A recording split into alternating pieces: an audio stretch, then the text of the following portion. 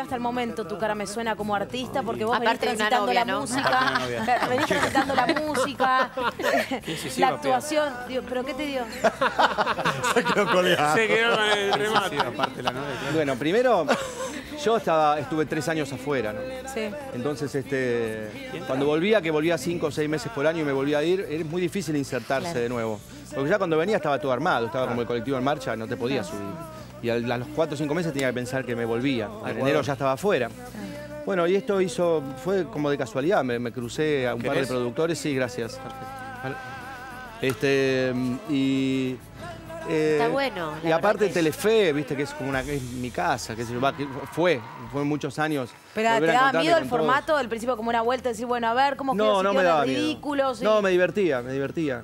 Eh, pensé que mm, tenía que ser más serio todavía y eso sí me preocupaba.